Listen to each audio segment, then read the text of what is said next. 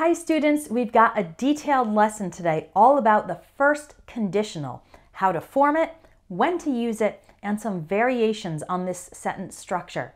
There are tons of examples in here, and I'd encourage you to try writing your own first conditional sentences as well. You can download the full text from this lesson, which also includes a quiz, by clicking on the link under this video and entering your email address. Okay, so what is the first conditional? When do we use it? We use the first conditional to talk about results of possible future conditions. Let's look at these examples. If it's sunny tomorrow, I'll go to the beach. If it rains tomorrow, I'll stay home. If she studies hard, she will pass the exam. If you finish your chores, you can watch TV. If we don't get to the airport on time, we'll miss our flight. If he doesn't call me soon, I'll send him a text message. If you save money, you'll be able to afford that new phone. If the restaurant isn't too crowded, we'll have dinner there tonight.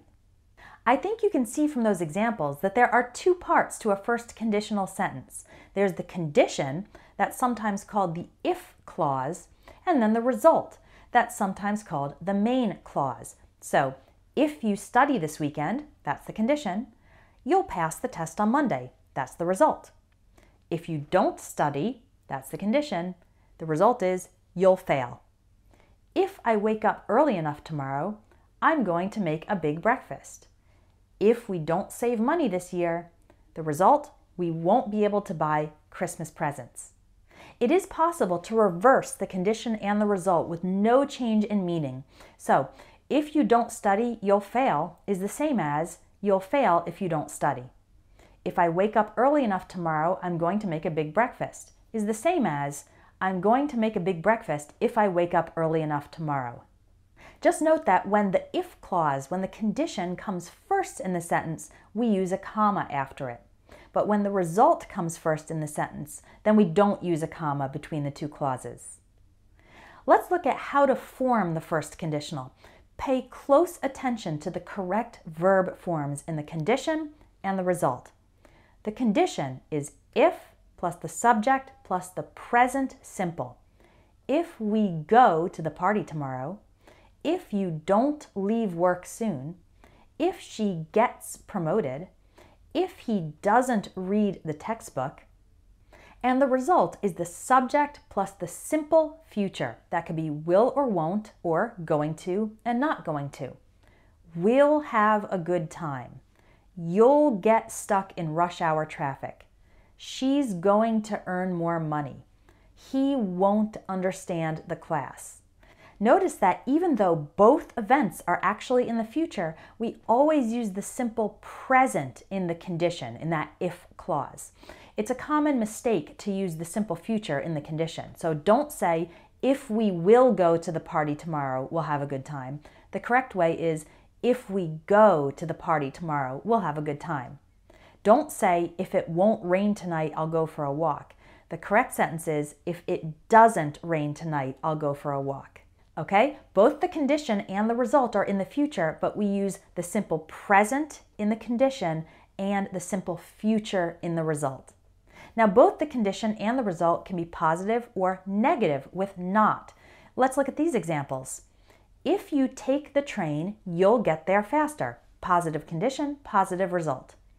If you don't take the train, you'll have to drive.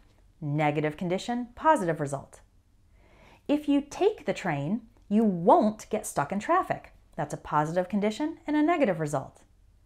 If you don't take the train, you won't need to buy a train ticket. That's a negative condition and a negative result.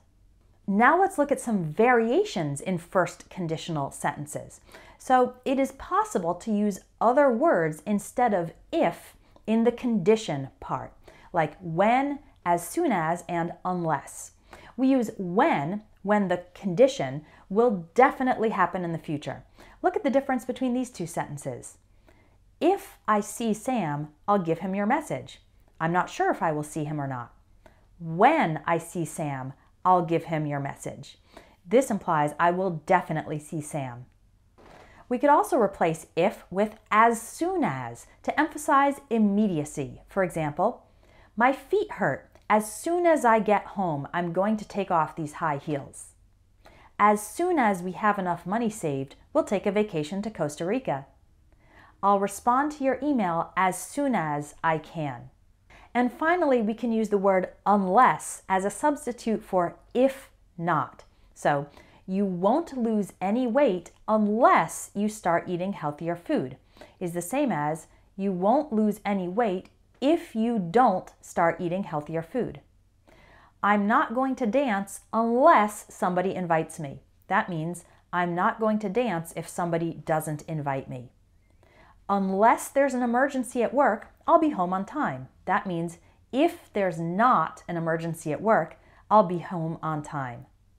We also have some alternative words to will or going to in the result. So instead of will or going to, we could use modal verbs like can, might, could, or should. So compare these two sentences. If you go out in the rain, you will get wet. That's 100% certain. If you apply to that university, you might or you could be accepted. So it's a possibility, but that result is not 100% certain we can use can in the result to give permission or prohibition. For example, if you finish your homework, you can watch TV for an hour. If you don't have a ticket, you can't get into the theater. And as you saw earlier, we use might or could to express a possibility, a possible result that is not a certainty. For example, if he gets home from work early, we could go out for a walk before dinner if you try to lift that heavy weight, you might hurt yourself. And we can use should in the result to give advice if the condition happens. If your toothache doesn't get better soon, you should see a dentist. If they go to New York next week, they should visit the Statue of Liberty. We'll wrap up this lesson by looking at the first conditional versus other conditional forms in English. First, let's compare the first conditional and the zero conditional. So the zero conditional describes general truths and facts. And in the zero conditional, both the condition and the result are in the simple present. When it rains, the ground gets wet. That's a general fact, a general truth. If I'm late to school, the teacher always yells at me. This always happens. So zero conditional for general truths.